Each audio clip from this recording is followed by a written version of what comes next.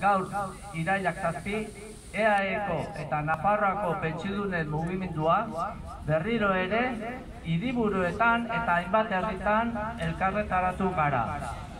Eta hori egiten dugu gure eskubideak defendatzen jarraitzeko arrazoi onak izaten jarraitzen dugulako.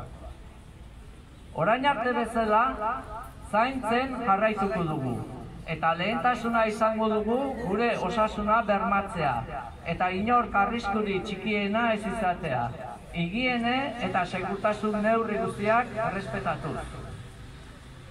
Guztio jabetzen ari gara osasun krisiak nola eragin duen ekonomian.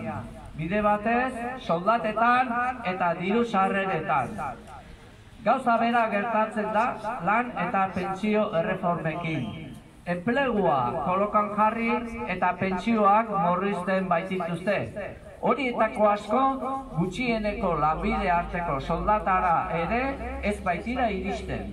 Batez ere emakumeen kasuan.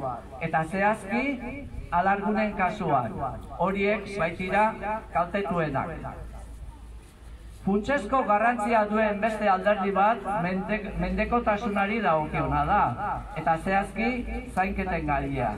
Oroar, bai egoitzetan, bai etxean, eta horregatik uste dugu lehentasuna izan behar duela gure aldarrikapen agendan ere. Oso kezkagarria da gaur egun egoitzak kutsatzeko guneak izaten jarraitzea. Eta horregatik, pentsiudunen mugimendutik eskatu diegu eta eskatzen jarraitzen gatzaizki aldundiei, egoitzetako ardunadunak diren einean, zaintza eredua aldatzeko eta neurriak hartzeko, beharrezko giza baliabideak eta materiala jarriz. Bestalde, irailean Toledoko ituna bilduko da berriro eta epe laburrean Bruselako akordioak berretxiko dira. Baita Euskal Autonomia Arkideoko aurrekontuak ere. Guztiek, pentsioetan, osasunean eta mendekotasuan, mendekotasunean eraginez.